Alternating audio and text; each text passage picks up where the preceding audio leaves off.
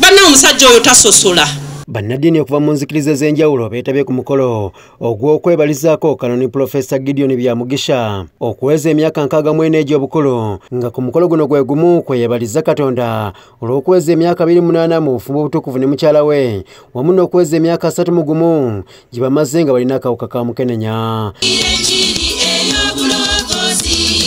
emikolo gibadde jinja kalooli mu ggombolo y'e kawempe.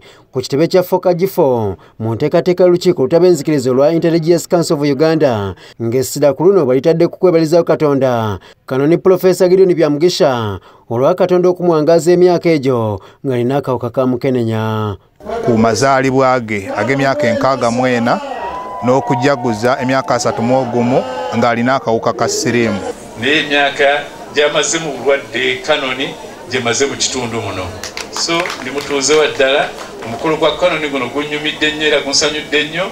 Ofiisi ya mufuti ekiikiriddwa sheikh hamid busungu serwadda sheikh hamid busungu serwadda ng'akiikidde mufuti atongozezza enteekateeka ez'okuzimba ebbanguliro ku fakagifo hope institute. Ekizimbe nga tukiyise the fokagifo hope institute proposed training block atuwa amaanyi atuwa obusobozi.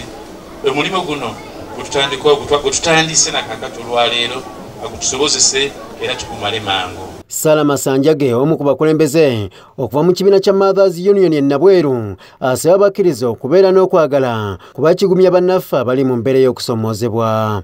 Kwewusongamu muno olunwe gwe kennyini ne weetya munda ate n'abalala abakwetoolodde ne bakutyoboola abamanyi kano n'abamuwulidde abamusomyeko abamulabye ku tv gwalwanyisa naffe ffenna. Mmere mbeereddewo omanyi abantu batandikira okufiira awo famire ekusamba eno ekuza eno mutwale mu kyalo naye famire bambe mbeereddewo from the time i knew up to now sheira jabu habibu kirya ow'ettwale linnabweru agambye nti bingi bayigidde ku pulofeesa kanoni gideoni byamugisha y'ensonga lwaki bategese omukolo guno. Sheikh hamid busungu serwadda akubiriza bannayuganda obutaggwamu soobe singa bazuulwamu akawuka ka mukenenya. Tumuzaayozezza nga bwe ngambye olw'okuweza emyaka nkaaga mwena egy'obukulu n'okumalako n'okuweza emyaka asatu mu gumu ng'alina ng'atambula n'akawuka ka mukenenya.